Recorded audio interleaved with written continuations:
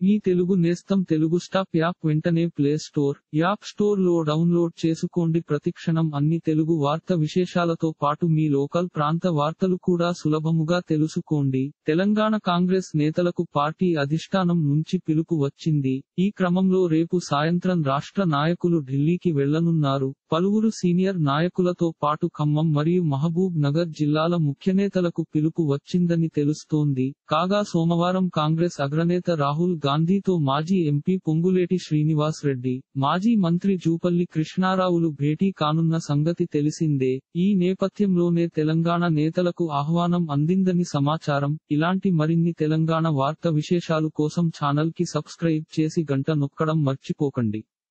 ఈ వీడియోని తోటి మిత్రులకి షేర్ చేయండి. మీ అభిప్రాయాన్ని కామెంట్లో తెలపండి.